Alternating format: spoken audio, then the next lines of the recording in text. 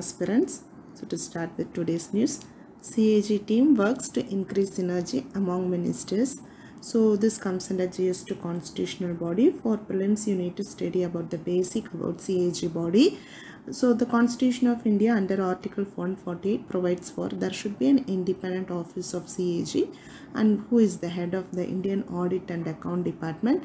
And it is one of the bulwark of democratic system of government. And he is the guardian of the public person control the entire financial system both at center level and state level. We don't have separate CAG for the state level. We have only uh, one body for both center and state level. And his duty is to uphold the constitution of Indian law uh, India and laws in the field of financial administration yeah. So constitutional provision is under Article 148. It deals with the CAG appointment oath and condition of service. Under Article 149, it deals with the duties and powers of CAG. 150 says that the accounts of the union and states shall be kept in such form as the president may on the advice of the CAG prescribe and 151 says that the reports of the CAG relate to the accounts of union shall be submitted to the president who shall cause them to be laid before each house of parliament. And article 279 says that the calculation of net proceeds is ascertained and certified by the CAG whose certificate is final so the CAG is appointed by the President of India by a warrant under his hand and CAG holds office for a period of 6 years or up to the age of 65 years and he can resign any time from his office by addressing the resignation letter to the President. He can also be removed by the President on the same ground and in the same manner as the Judge of Supreme Court report he submit his audit reports relating to the accounts on center and state to the president and governor. Then they will replace them uh, place them into the house of parliament or state legislature submit three audit report to the president. One is audit report on appropriation account audit report on finance account and audit report on public undertakings. Okay so the constitution has made the following provision to safeguard and ensure the independence of CAG.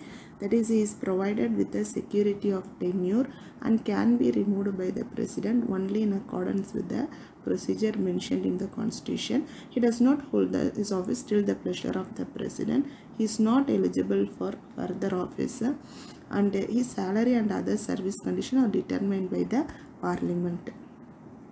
Neither his salary nor his right in respect of leave of absence, pension or age of retirement can be altered to his disadvantage after his appointment. Administrative uh, expense uh, that will be charged upon the Consolidated Fund of India. No minister can represent the CAG in Parliament and no minister can be called upon to take any responsibility for his action. And Digital India Bill to be released in June. So this comes under GS3 cyber laws. The safe harbor provision have been defined under the section 79 of IT Act and it protects social media intermediaries and this act give them immunity from legal prosecution. So this protection uh, shall be applicable if intermediary does not in any way initiate the transmission of a message or select the receiver of the transmitter message and does not modify any uh, information.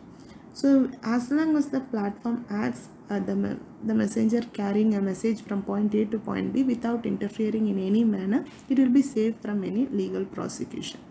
The protection accorded under section uh, 69 however is not guaranteed if the intermediary despite being informed or notified by the government.